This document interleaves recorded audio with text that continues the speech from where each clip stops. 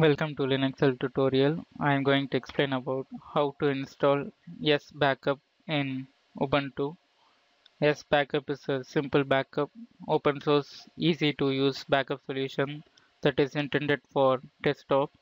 It can backup any subset of files and folders in the system and all the configuration files are accessible through the GNOME interface and files and the folder paths can be included or excluded directly using the regex.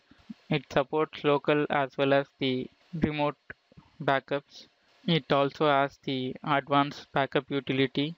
You can create both compressed and uncompressed backup using the simple backup and you can also split the uncompressed backup into multiple parts and you can schedule your backups and also we can manually set up the backups. Now we can see the installation of simple backup. To install the S backup, you need to run the following command apt-get install S backup. Now give enter. Now give S to download and install the package. This will take some time. Now the simple backup tool is installed. Now we can open the simple backup tool. Now click the Unity dash and now search simple backup. Now here you can see the simple backup con configuration and restoration. Now we need to select the simple backup configuration for admins. Now enter the administrative password. Now here you can see there is no backup profile that is created. First you need to create the backup profile. Now click close. Now we can configure the simple backup. You can select give the number of days that the system has to take a full backup. This is 7 days. And if you want to mention the compression format you can mention here. I'm going to give gzip format. If you are not mentioning the uncompressed backup you can split the backup into several chunks. I'm giving gzip. And you can add the files and folders that you need to take backup in the included files and directories and if you want to exclude any files and directories you can exclude here. And you can exclude using the file types regular expression and also exclude using the file size. That is if the file size is bigger than the specified MB the backup will not be taken. And here's the destination path.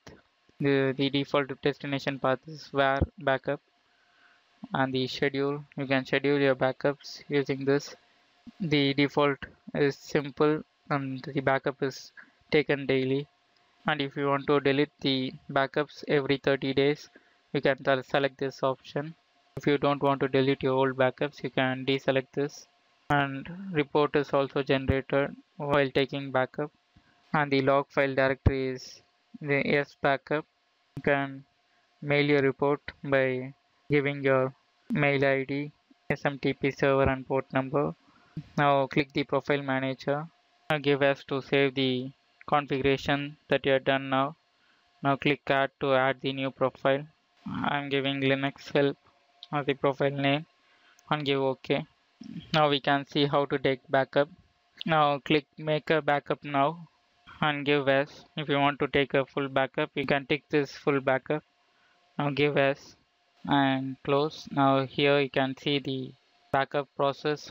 That is now you can see the backup is taken. And it is processing now. Now the backup is completed.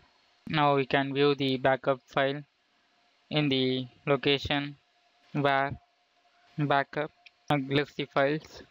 Now here you can see the backup.